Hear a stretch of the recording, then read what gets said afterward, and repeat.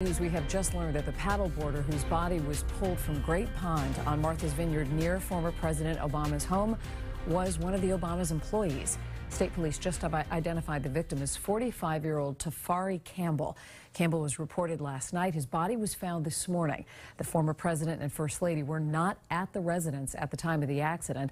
The Obamas, though, have released a statement in which they say they met Campbell when he worked at the White House as a sous chef, and they asked him to stay with them when they left Washington. In a statement, they write, In the years that follow, we got to know him as a warm, fun, extraordinarily kind person who made all of our lives a little brighter. Our hearts are broken that he's gone. State police say this appears to be an accident.